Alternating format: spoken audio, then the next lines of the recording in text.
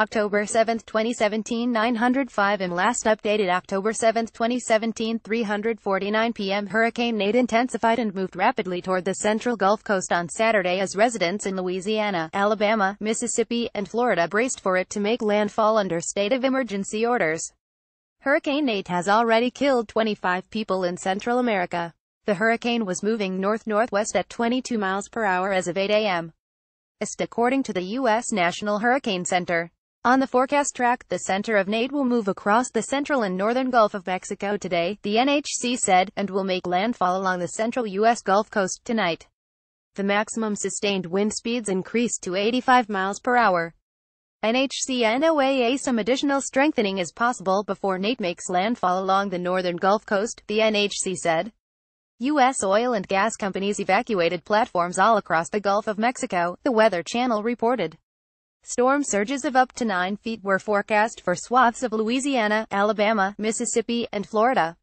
The mayor of New Orleans ordered mandatory evacuations for residents living outside the levee protection area in the Venetian Isles, Lake Catherine, and the Irish Bayou areas. Mayor Mitch Landrieu also ordered a mandatory curfew starting at 6 p.m. on Saturday and expiring at 6 a.m. Sunday. NHC NOAA We are very well prepared, Landrieu said.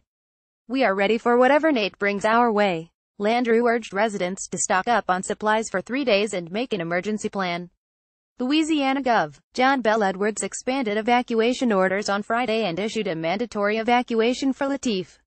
We do anticipate a direct hit in Louisiana, Bel Edwards said. The bottom line for people is you need to be where you want to be and in the posture you want to be by dark on Saturday.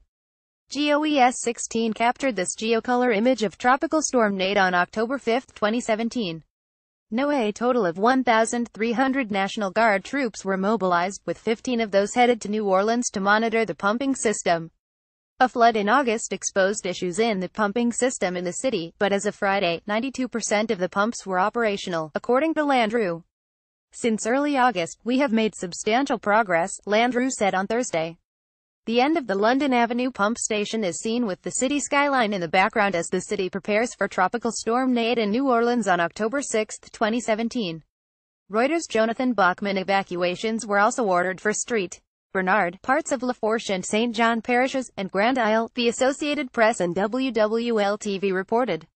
A state of emergency was declared for 29 Florida counties and states, Alabama, Louisiana, and Mississippi, as well as the New Orleans, which was devastated by Hurricane Katrina in 2005.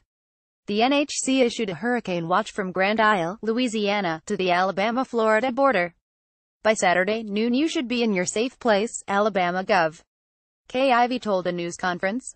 This is a fast-moving storm and we must begin preparing now. Central America deaths The storm doused Central America with heavy rains on Thursday, killing at least 12 people in Nicaragua, 9 in Costa Rica, 2 in Honduras and 2 in El Salvador. A child affected by the tropical storm Nate sits on a chair in Nandaime, Nicaragua, on October 6, 2017. Oswaldo Rivas Reuters Thousands were forced to evacuate their homes and Costa Rica's government declared a state of emergency. Costa Rican President Luis Guillermo Solís urged residents to remain vigilant, noting rains would likely resume.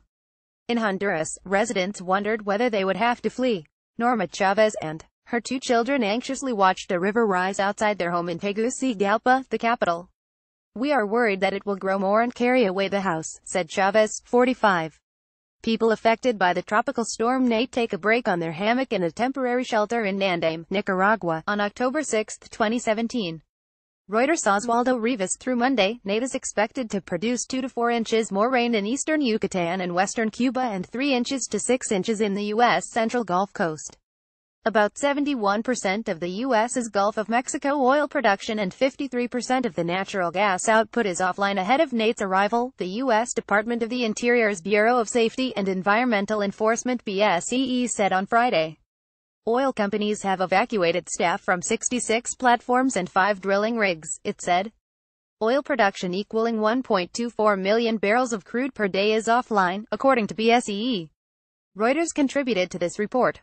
From NTD.TV share tweet share email.